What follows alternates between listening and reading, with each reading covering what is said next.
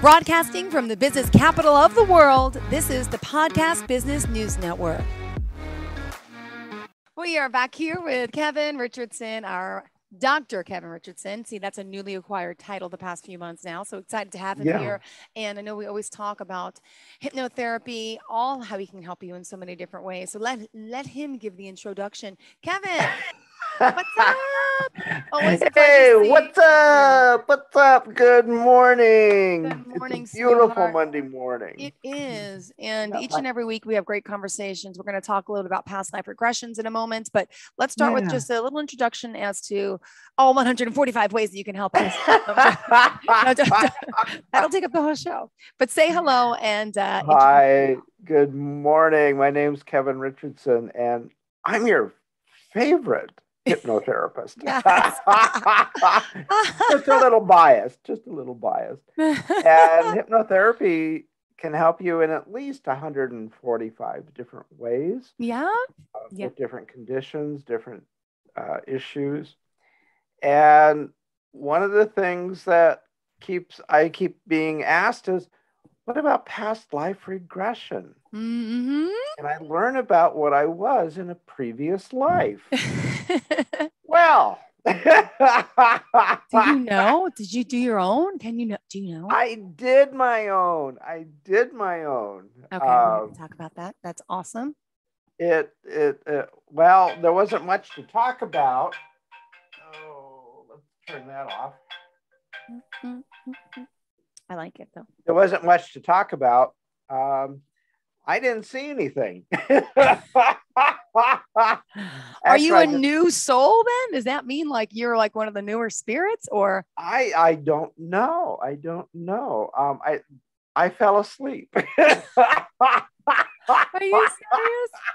and maybe you you were told you, you figured it out, but then you fell asleep, you woke up and you forgot. oh it was uh it just happened to be a, a day where the night was i was up most of the night studying and i was tired and so when they said okay it's time to do past life regression i just regressed and went to sleep That's great. so um so and i haven't tried it since but uh, i am working with clients that do do past life regression so and in preparing for this i wanted to see is there any documented evidence of Mhm. Reincarnation Mm.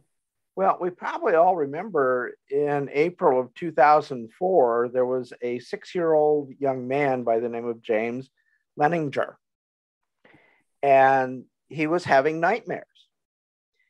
And his mom was saying, Well, what are the nightmares about? Well, it's about a plane crash. It's been, I've been hit in a plane and, and I'm going down. And so as she started asking more questions, he was describing that he was a fighter pilot in World War II at Hiroshima. And he was shot down over Hiroshima. And so, as with past life regression, when you see something or you find something, you want to double check it, you want to verify it to see how accurate it was. And he would only play with airplanes Wow. according to his mother. And so his mother brought bought him a model airplane, a, bo- a fighter jet. And on the bottom of it, she says, Well, this is where the bomb is. And he said, Oh, no, mom, that's a drop tank. Six years old. Do you know these things? What is a drop tank? Mhm. Wow. so uh, she began to start wondering about who is this child of his, of hers. And he was dreaming about crashes. Well, the father became fascinated with this and went on the internet and started scouring the internet and found that there was a 21 year old fighter jet pilot, the only one who was shot down over Hiroshima. Wow. And his name was James. Who knew? Wow. And so, um, in in further discussion with the young child, with James Leininger, he actually named a person, Jack Larsen, as someone who was flying with James and was in the plane next to him. They found Jack Larsen.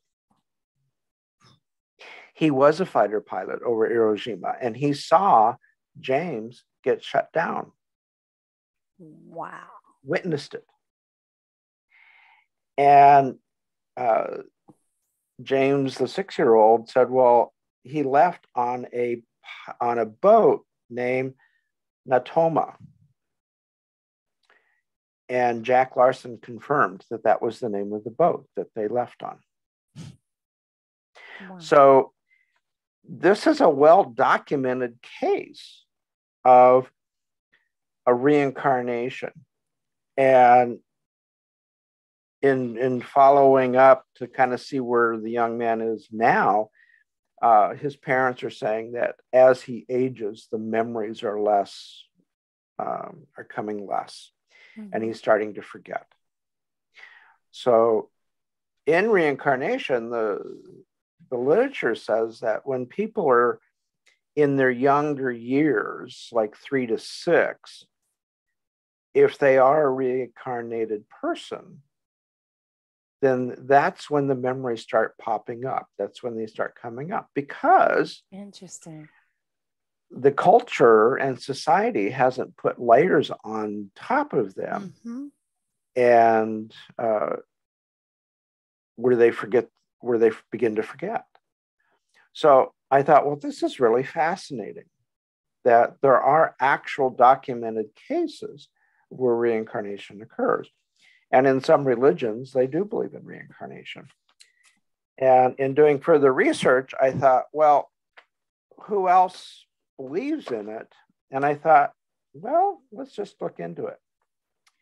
Numerology. Now, numerology, numerology, there's some controversy with it. Some people believe in it, some people don't. And that's okay. Yeah. But in numerology, they're saying that if you take your birth date and add up the digits to your birth date and come up with a single digit, that will tell you how many lives you're on and where you are in your wow. reincarnation stage. So I thought, well, that's really interesting. And so I thought, well, what does that mean? Yeah. so they funny. actually came up with some very different things. Like if you're number one, that's the primal force. Um, mm-hmm. It's a new beginning. That's where you're just starting.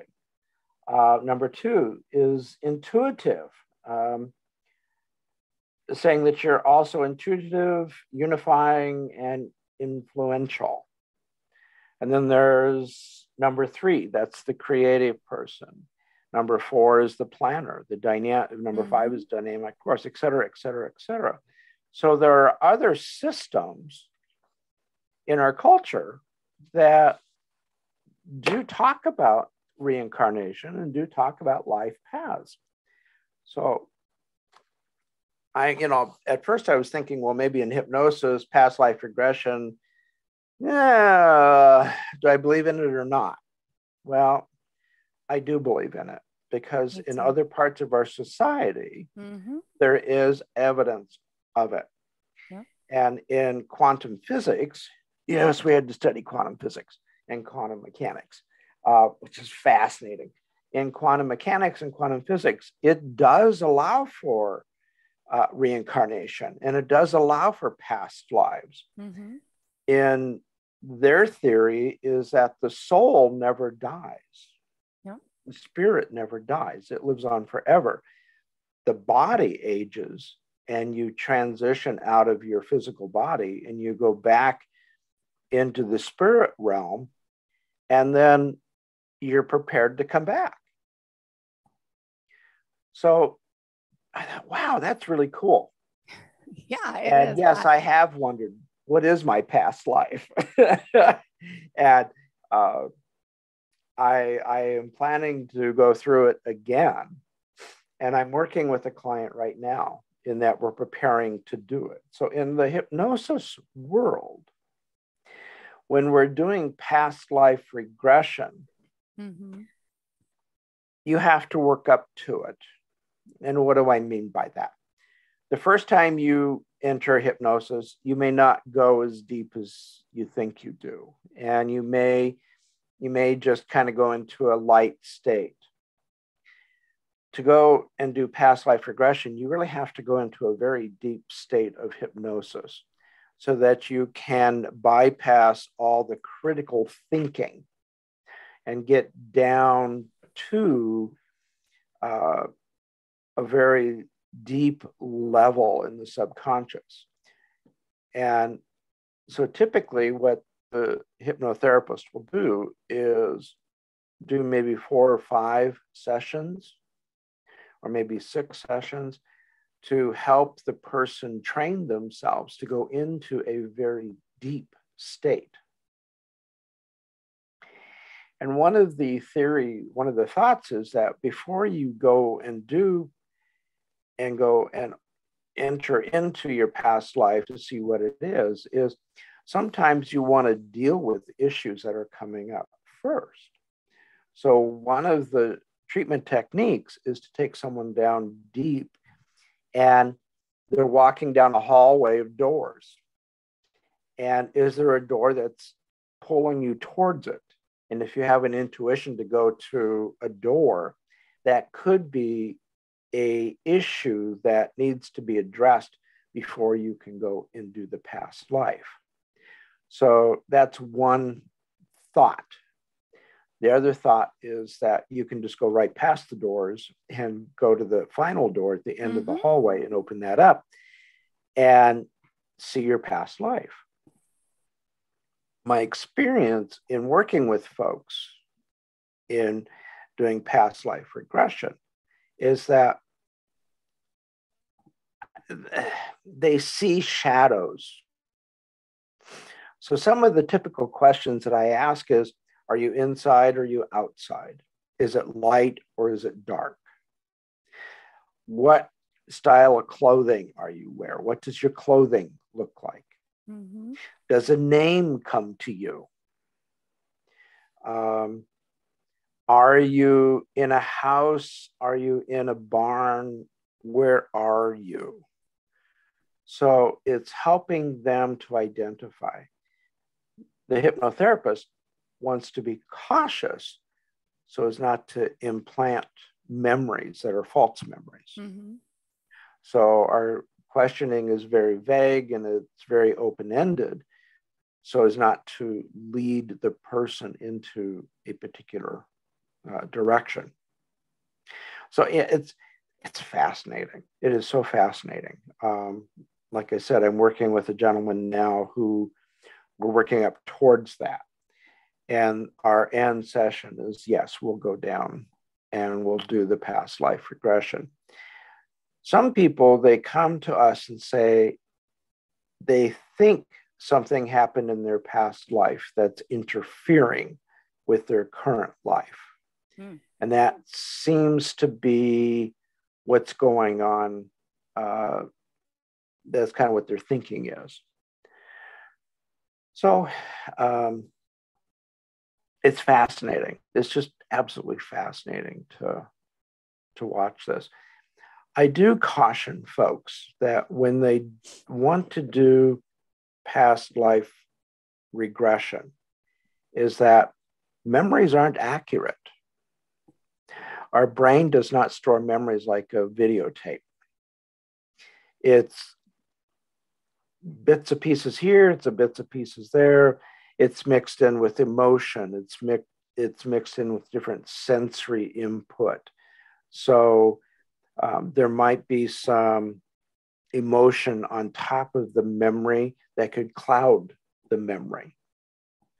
Um, that's why we tend not to do age regression. Past life regression is different than age regression. in what way? I could see that on your mind. Yeah. How is that different? How is that different? Age regression, you're looking at the person's current life and you are helping them go back in age to a particular time to recover a repressed memory. Uh, sometimes they'll do this with abused children. And there is warnings about this. The therapist, the hypnotherapist, really needs to be trained in doing age regression so that false memories are not inadvertently planted. There was a real famous case of in Los Angeles, oh, 20 years ago, um, of a daycare center where the children were saying, oh, they were being taken to these different places and there were satanic rituals and um, all this was happening. And the owners of the daycare center were just ruined, just ruined. And they were doing age regression therapy and trying to recover hidden memories. In doing that, the hypnotherapists were not trained properly and it later came out that they were implanting false memories. Wow. Not knowingly, yeah. they were very innocently planting false memories. But in the meantime, those false memories ruined the lives mm-hmm. of the teachers, the owner, uh, just ruined their lives. Yeah. So, with past age, with re- age regression, you have to be very cautious you really want to be trained into doing that. Mm-hmm. Um, forensic hypnotherapists are trained on how to do that. Um, a forensic hypnotherapist works with the police agencies and works with private investigators and lawyers to help mm-hmm. folks identify repressed memories. But they're trained in it. They go through extra training on how to do that. Yeah. So um, that's a real cautious area. When people ask me, do I do age regression? And I kind of just kindly say, no, I don't. Um, I don't feel like I've been properly trained in it. I'm not a trained forensic hypnotherapist. So mm-hmm. I haven't had the necessary training. I'm aware of the caution of it but I haven't had the training to do that. Past life regression, that's where you're going back all the way back and you're going back into the deepest memories and the deepest. And again, we, we're trained in how to um, remain neutral and how to facilitate the person's memories, but not implant memories. So, um, like I say, with past life regression, you really, it's a train, it's a training session. You go from session to session to session, and each session, you're going progressively deeper mm-hmm. into a, a deeper state. And then once you're able to get down to the deepest level, um, then we do the then we open the door. And that is figuratively speaking that you're down as far down as you can go into the basement of memories. Until, yep. And then you open the door and tell me what you see. Hmm.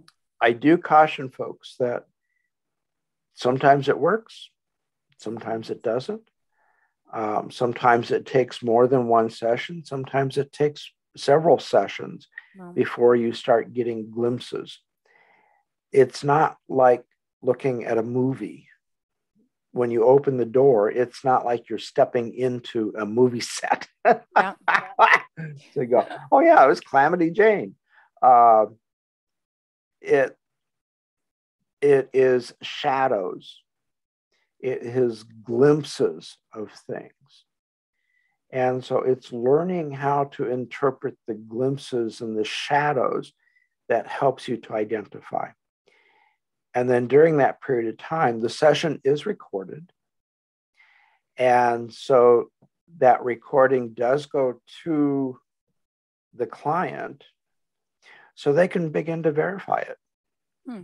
They can begin to look to see if there was a name back in history that matches the name that they were given, or that there's a place that matches. Um, or if they were on a boat, they can go back and look to see if there was the name of that boat. So there is some uh, verification that's involved with this to make sure that um, what you're seeing is accurate. You got me. I want to go search about James later. I wonder where he is now. Did he become a pilot too in his new life? Sorry. I, you know, uh, that was my same thought. It's like, darn, I can't find anything on him after he was six years old. Wow. And that was in 2004. So we're looking at 16. Not that long ago. Um, 2004, 2014, 10. We're we're about 18 years. Mm-hmm. So he'd be what about 24? Yeah. So hmm. could be. Yeah. He's at that age where he could be in the Air Force and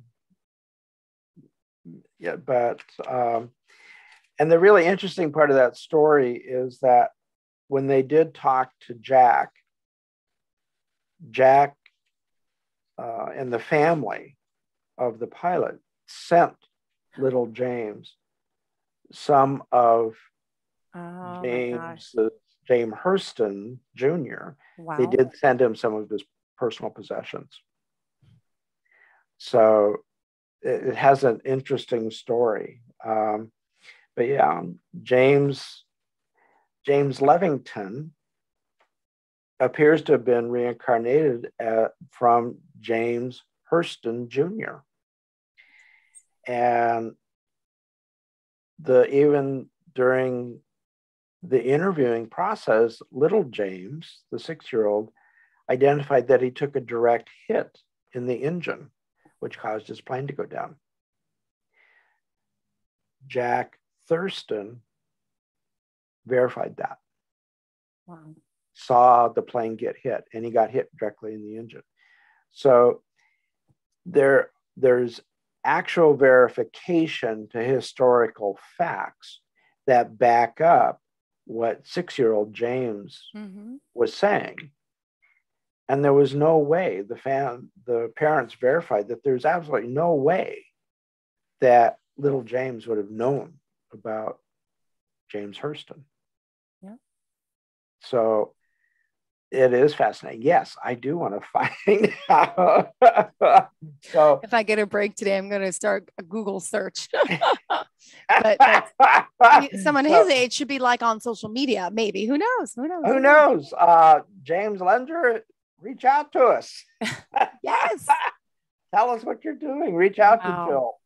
Yeah reach out to Jill, find out. It'd be a wonderful interview uh, to follow up 18 years later and see where he's at and see if he remembers what he was going through at, the, at six years old.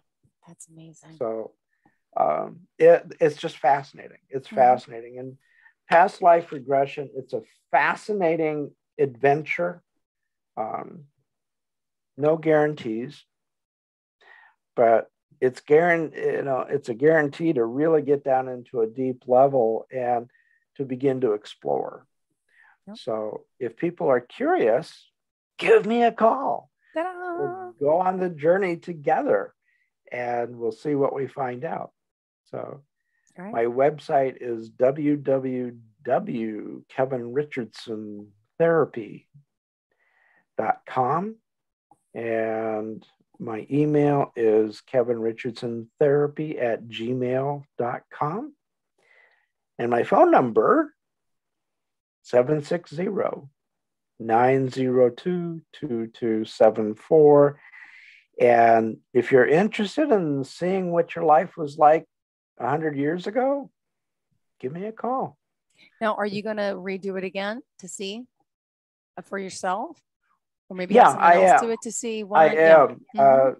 I, I just want to make sure I've gotten a good night's sleep.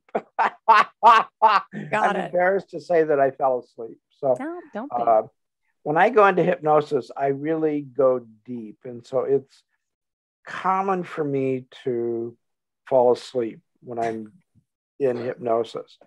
Um, and so I, like I say, I, I listen to my own tapes every day.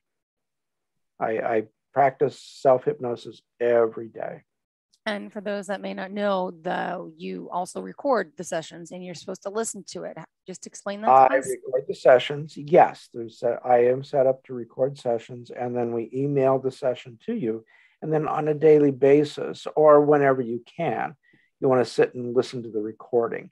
So, with hypnotherapy, there is there is homework involved with that, and that's listening to the tapes and doing your tapes at least two or three times a week to help to it, to help support the suggestions that you're seeking and the Mhm. changes that you're wanting.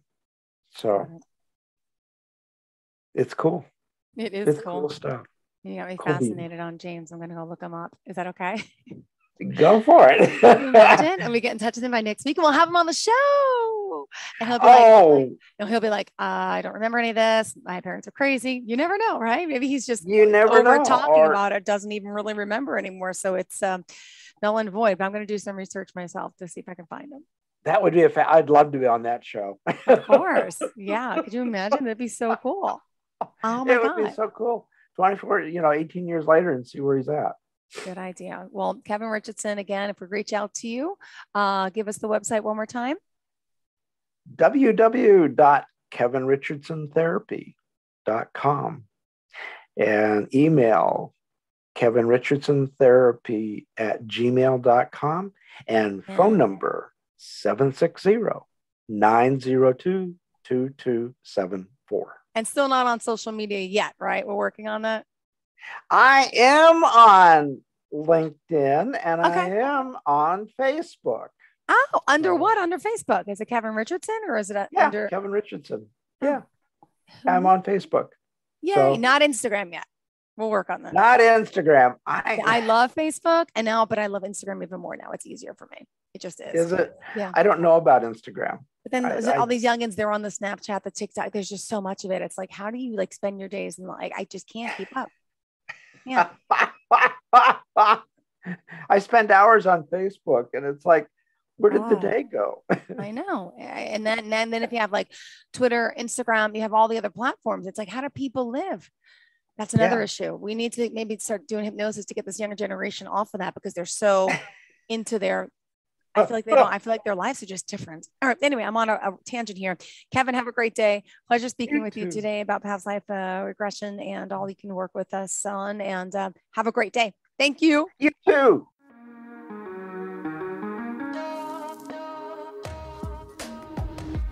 Broadcasting from the business capital of the world, this is the Podcast Business News Network.